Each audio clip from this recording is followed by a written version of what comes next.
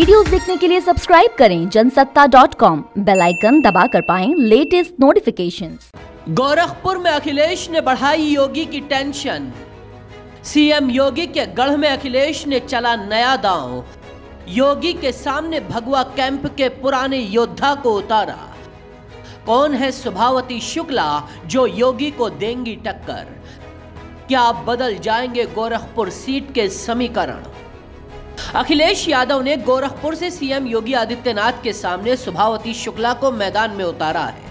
Samajwadi party ने BJP के दिग्गज नेता रहे उपेंद्र शुक्ला की पत्नी को सपा के टिकट से उतारकर एक तीर से कई निशाने लगाए हैं। एक तरफ़ ब्राह्मण कार्ड खेलकर बीजेपी ने ब्राह्मणों की कथित नाराज़गी को भुनाने की कोशिश की तो पार्टी को उम्मीद है कि 2020 में उपेंद्र शुक्ला की मौत हो जाने की वजह से उनके परिवार को सहानुभूति के नाम पर समर्थन मिल सकता है।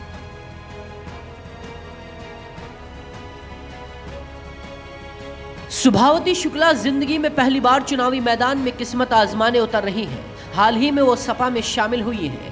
सुभावती भले ही चुनावी पिच पर पहली बार उतर रही हो, लेकिन उनके पति उपेंद्र शुक्ला गोरखपुर की सियासत में ब्राह्मण चेहरा माने जाते थे। बीजेपी के पूर्व प्रदेश उपाध्यक्ष और गोरखपुर के क्षेत्रीय अध्यक्ष रहे उपेंद्र दत्त शुक्ला ब्राह्मणों पर मज़बूत पकड़ रखते थे। उपेंद्र शुक्ला 2013 से 2018 तक बीजेपी के गोरखपुर क्षेत्रीय अध्यक्ष रहे थे। वो संघ और बीजेपी के पुराने कैडर के कार्यकर्ता थे। वो जनसंघ के जमाने से भाजपा से जुड़े थे। डेढ़ साल पहले ही उपेंद्र शुक्ला की ब्रेन हेमरेज से मौत हो गई थी।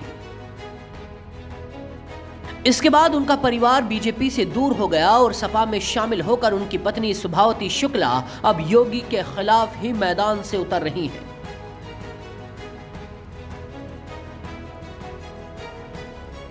सपा ने सुभावती शुक्ला को योगी के खिलाफ उतारकर ठाकुर बनाम ब्राह्मण एजेंडे पर सियासी बिसात बिछाने का दांव चला है। आज की तारीख में गोरखपुर की ये सीट प्रदेश की सबसे हॉट सीट बन चुकी है। इसीलिए सभी दल फूंक फूंक कर कदम उठा रहे हैं। सभी दलों को मालूम है कि मुख्यमंत्री, खासकर गोरक्ष पीठाधीश्वर योगी का मुकाबला आसान नहीं है।